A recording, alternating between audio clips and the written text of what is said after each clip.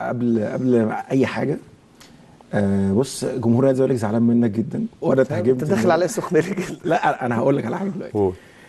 فأنا طالع معاك النهارده وربنا يعلم أنا معزتك وإن أنا بحبك إزاي. عارف. ومش ناسيلك إن أنت في 2015 ساعة مشكلتي كنت أنت الوحيد في المجال ده اللي يعني وقفت جنبي. وخاطرت بحاجات كتيرة جدا حتى لو جولدي آه درجة رابعة. بس أنا فعلا ما كنتش لاقي حاجة ساعتها وأنت كلمتني وأنا كنت عايز أبطل وأنت لما كلمتني أكيد. شفت أنا كنت عامل إزاي. فأنا عمري ما هنسى لك ده. آه ممكن تكون الجمهور زعلان علشان أنت بتهاجم نادي الزمالك وده طبيعي أو شايفين إن أنت جاي على نادي الزمالك وطبيعي إن هم يزعلوا. بس أنا برضو مش قادر أنسى لك اللي, اللي, اللي أنت عملته معايا. وأنا زعلت مثلا إن في ناس فاكرة إن أنا طالع معاك عشان أنا واخد فلوس أو ما أنا ما أعرفش أنت بتقول. فربنا يعلم. أنا أنا عمري عارف. ما طلعت في برنامج وخدت ربع جنيه. لا وميغا مش اللي اتعامل مع إبراهيم كده ولا إبراهيم أنا مع ميغا كده. سبوبة. كان زماني على الأقل لسه بلعب. عارف. أنا بطلت 27 سنة يعتبر. فعمري ما كنت بتاع سبوبة وعمري ما كنت ال- القصة دي خالص بتاعتي. بس أنا ما أقدرش انسى لك وقفتك معايا في عز ما الكل بعاني. على فكرة والله ميغا بص بعيد عن أي حاجة زي ما قلت لك. أنت عارف أنا ما أعرفش في كده محبة في الله. آه، لأن أنا دايما بتعامل بحتة وأنت اتعاملت معايا حتى. أنا بتعامل بحتة لعيب الكورة. ممكن ناس كثيره جدا بتزعل بس مش كل واحد هقعد أديله مبرر. أو مش كل واحد إن أنا هتكلم معاه في حاجة. أنا بالنسبة لي ما أنت في- جمهور الزمالك بالذات ما ينفعش ما اديلوش مبرر. ده بص حقك وحقك بتتكلم هم مني وأنا منهم. بص يعني أنا أنا لسه طبعا هفتح معاك حوار. وأنا اولا مش أنا مش مذيع. okay. أنا بتعامل مع اخويا الصغير والحمد لله اي اي ضيف بيجي معايا ما ما بعتبرش ضيف. أنا جايب حد صاحبي أو حد حبيبي أو زميل ملاعب فبنقعد نتناقش مع بعض. تمام. وما بخرجش بره الكورة ولا ليا ما بتكلمش غير كورة. شايف الملعب اللي قدامك ده هو ده اللي أنا بتكلم فيه. أوكي. أنا حابب اتكلم مع المرغني في حاجات كتيرة جدا. من بداية الأزمة طبعا خلينا نتكلم إن الأزمة كانت معروفة وبعد كده عطلتك. انت مش زعلان إن إن بسبب تهور ويمكن أنا شايف لسه التهور لسه موجود. ده والله بس بقى في الكورة. حلو حلو. اتكلم كورة زي ما أنت عايز. على فكرة الناس بتحترم أي حد بيجي يتكلم في الكورة أو بينتقد بتتكلم في الكورة. المرغني آه، آه، هجيبها لك من البداية. كان في فترة علاقتك مع جمهور النادي الأهلي علاقة كويسة جدا. حصل.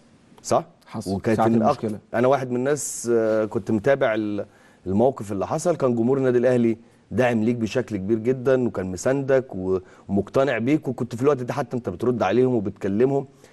هل يعني هل الموضوع ده ما ما, حطيتوش على جنب كده؟ بمعنى إيه ما حطيتوش على جنب؟ يعني إن في موقف من جمهور النادي الأهلي وقف معاك رغم إن أنت زملكاوي. آه، دي دي حاجة تحترم طبعا إن إن هم يعني وقفوا معايا رغم إن أنا كنت لعيب في نادي الزمالك أو لعبت في نادي الزمالك. آه، ولكن أنا برضو لما النادي الأهلي مثلا حصل أحداث بورسعيد أنا وقفت مع الجمهور. مش لازم أقول وقفت إزاي وعملت إيه والقصة دي كلها. الناس ما بتنساش على آه بس أنا أنا كان ليا موقف ومش موقف اللي أنا طلعت في التلفزيون بقى ورحت العزا اللي كان في النادي لا أنا كان ليا موقف أكبر من كده وأحسن من كده وما طلعتش قلت إن أنا عملت كذا. فأنا مش مش ناسي ده. ومش معنى إن أنا مثلا آه إن أنا ب ب يعني بغيظهم شوية في ده الكوره شيء طبيعي. إن لو لا قدر الله لا قدر الله يا رب ما تحصل تاني حصل أي مشكلة إن أنا مثلا مش هقف مع جمهور النادي الأهلي لو حصل مشكلة شبه الع... بالعكس. في الآخر هي أنا. هبقى أول واحد موجود زي ما كنت قبل كده من أول الناس اللي موجودين. فالكورة حاجة والمشاكل وإن أنت تقف جنب الناس أو أنت تساند قضية معينة الناس ليها حق. دي قصة تانية خالص. أكيد. أه طيب هسألك فين ميغا دلوقتي؟ آه زي ما أنت عارف شغال في العقارات بقالي خمس سنين. ومن شهر خمسة اللي فات عملت page على الفيسبوك و channel على اليوتيوب وابتديت آه أتكلم شوية في الكورة. ال- ال- الناس اللي بتتكلم على نادي الزمالك بطلع أرد عليهم. آه بس ما عملتش حاجة تاني.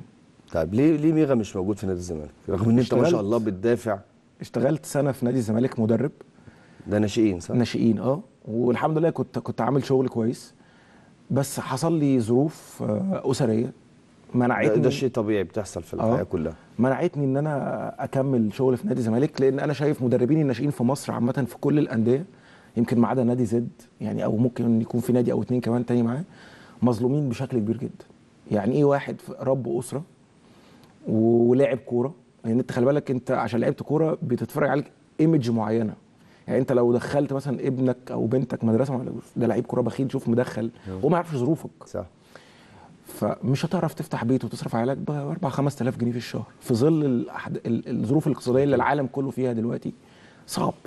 هتضطر إن أنت تشتغل كموظف عايز تخلص الساعتين وتجري على أكاديمية هنا على أنا وأنا نادي الزمالك بالنسبة لي ما ينفعش أكون شغال موظف. طيب. اللي هو بخلص ساعتين وأمشي. شايف إن أنت مطلع طاقتك؟ أنا ب... أنا واحد من الناس بتابعك يعني. كل شوية تقوم ظاهر لي كده مش عارف. وطبعا الناس بتسخنك عليا بس أوعى بيخ ما أقدرش. بيخ أنا موت عايز أقول لك ساعة ساعة موضوع زيزو. أنا الموت كنت أنت وشيف عبد الفضيل اتكلمت على شيف عبد الفضيل. قول لهم ده هيبقى قول لي البونت هيما مش سامع. قول لهم.